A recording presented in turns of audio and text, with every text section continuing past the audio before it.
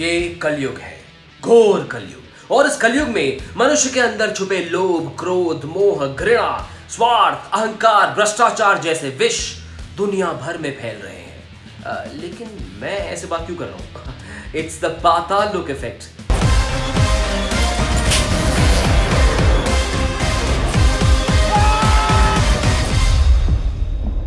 इस शो की कहानी रिवॉल्व करती है मशहूर जर्नलिस्ट संजीव मेहरा के असैसिनेशन अटेम्प्ट के इर्द गिर्द। शो की शुरुआत में ही, यानी कि पहले एपिसोड में पुलिस के हाथ लगते हैं चार सस्पेक्ट्स कबीर एम, तोप सिंह, विशाल त्यागी और मेरी लिंगडो इस शो की इन्वेस्टिगेशन को सौंपा जाता है जमुना पार पुलिस स्टेशन के एक अर्नेस्ट और honest police officer Hathiram Chaudhary के हाथों played by Jaideep Ahlawat now this guy is desperate to crack a big case and get a promotion investigation शुरू होती है, लेकिन केस सुलझने के बदले और उलझ जाता है। और फिर आगे क्या होता है? क्या ये चारों सचमुच दोषी है?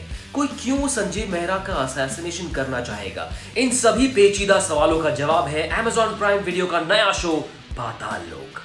किडनैपिंग रैंसम और पैंतालीस मर्डर आज तक कभी अरेस्ट नहीं हुआ है। इस शो में गाली गलोच भरपूर है कुछ जगह सेक्स सीन्स भी है but as you all know आजकल these things are an integral part of the formula of making कड़क वेब शोज़ वरना क्या है ना फील नहीं आती। एंड सो so, अगर आप इस शो के हर सीन को डिटेल में देखना चाहते हैं बिना किसी सीन को फास्ट फॉरवर्ड किए I suggest you watch it in solitude अकेले बैठकर किसी कोने में आराम से हेडफोन्स लगाकर। मेरे हिसाब से this show is very high on the peak meter मुझे प्लीज़ बचा जो कहोगे मैं करूँगी सर। बड़े लंबे अरसे के बाद एक ज़बरदस्त शो देखने को मिला है। Neeraj Kabi as Sanjeev Mehra journalist Swastika Mukherjee as Sanjeev Mehra wife Dolly and Gul Panag as police officer Hathiram Chaudhary wife Renu इन सभी एक्टर्स की परफॉर्मेंस लाजवाब है कास्टिंग डायरेक्टर्स वेल डन क्योंकि बड़े कैरेक्टर्स के अलावा छोटे छोटे किरदारों के लिए भी इन्होंने कमाल के एक्टर्स चुने हैं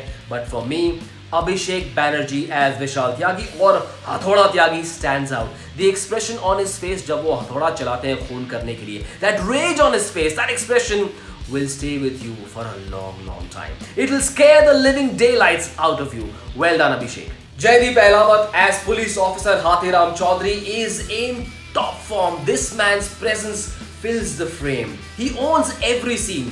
Screenplay काफ़ी कंसिस्टेंट है इस शो का हर एपिसोड तकरीबन 40-45 मिनट के बीच में है और जब आप शो देखेंगे, तब आपको रियलाइज़ होगा कि कभी भी मेकर्स ने शो का पेस ज़बरदस्ती बढ़ाने की कोशिश नहीं की एक और, जब चारों सस्पेक्ट्स की बैक स्टोरीज को बड़े ही इत्मीनान से दिखाया गया है तो दूसरी ओर सस्पेंस से पर्दा हटाने के लिए किसी भी तरह की जल्दबाजी या डेस्परेशन नहीं दिखाई अब आप सोच रहे होंगे कि यार, मैं इस शो के प्लॉट के बारे में ज़्यादा क्यों नहीं बता रहा हूँ? वो क्या है ना? शो देखने के बाद आपको पता चलेगा कि all that is strictly on a need to know basis show का प्लॉट काफ़ी लेयर्ड है, जो कुछ लोगों को शायद थोड़ा सा कॉम्प्लिकेटेड लगे। ध्यान से देखना, क्योंकि बहुत सारे कैरेक्टर्स हैं और उनके अलग अलग इंटरपर्सनल इक्वेशंस हैं जो आपको याद रखने पड़ेंगे। अब राइटर्स ने स्क्रिप्ट में कुछ पॉलिटिकल तंज ज़रूर कसे हैं, जिनमें से कुछ आपको शायद पसंद आए। कुछ के साथ शायद आप अग्री ना करें। और हाँ क्लाइमैक्स में थोड़ी सी कंफ्यूजन थोड़ी सी खिचड़ी ज़रूर हुई है but that is something I would encourage you to overlook overall Jaideep Ahlawat और अभिषेक बैनर्जी की इंडिविजुअल ब्रिलियंस ने एमेजॉन प्राइम वीडियो के नए शो पाता लोक को बनाया पेंजवर्दी